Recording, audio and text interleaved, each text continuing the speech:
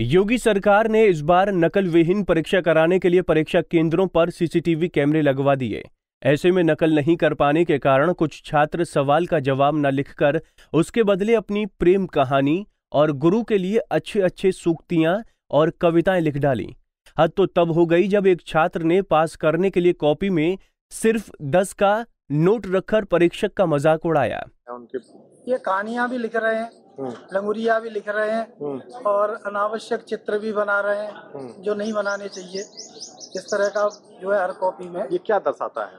ये दर्शाता है कि ये नकल विहीन परीक्षा हुई है। हम्म, और चूँकि या तो पढ़े नहीं हम्म, या और व्यवस्था तो अच्छी रही नहीं विद्यालयों की। आपको बता दें कि आगरा में पाँच केंद्रों पर परीक्षा मूल्यांकन का कार्य चल रहा है। ये मूल्यांकन 31 मार्च तक होना है। इस बार नकल विहीन परीक्षा होने के कारण कॉपियों में सवालों के जवाब न लिखकर छात्रों ने उल्टे सीधे जवाब लिखे हैं। पंजाब केसरी टीवी के लिए आगरा से ब्रजभूषण की रिपोर्ट।